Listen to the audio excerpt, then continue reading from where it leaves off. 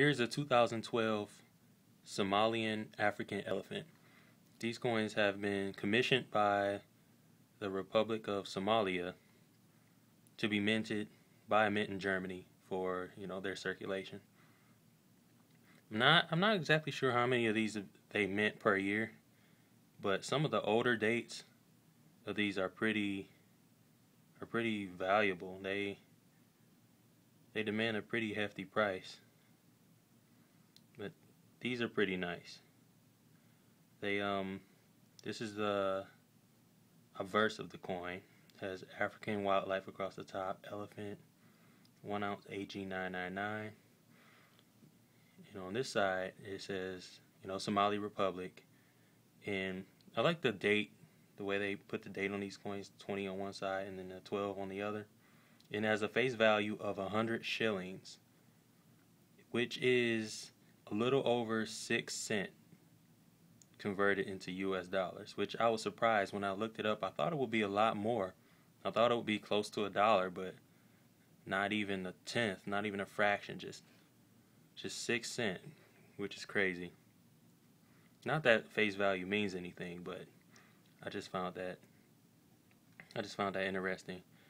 Um, these coins have a nice proof-like finish on them, like a mirror finish, uh, similar to the Britannias actually, which is I guess not not really surprised they would use a similar style. Well, the Britannias they aren't made in Germany, but that's sort of a European style, I, I guess. But they're nice. They're nice and shiny. They have a reeded edge, and I think they have a di diameter of thirty nine inches, I want to say, or maybe 38. You can't really tell by looking, but when you're getting the air tights, it makes a difference because if they're a little big, they'll move around a little bit. These air tights are the perfect size for these coins. But these, it has, this coin actually has three elephants in it, a calf, two calves, and a, you know, a matriarch or whatever. It has a little bird flying in the back, a vulture or whatever it is, and that classic African tree. I'm not sure what the name of the tree is, but they actually don't grow in that shape. It's just the elephants and the giraffes and all the you know foraging animals. They eat all the lower all the lower branches and all the lower leaves.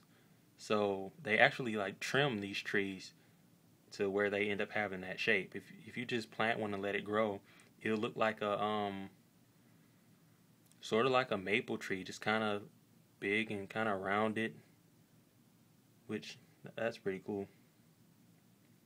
But it's it's one ounce. It's a nice coin.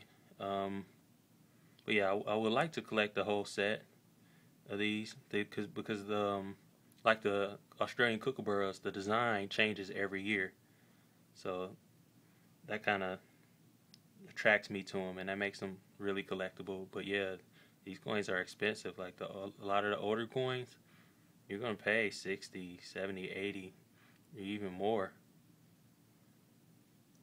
But they're good coins and they're good to add to any collection. So thanks for watching and rate this review.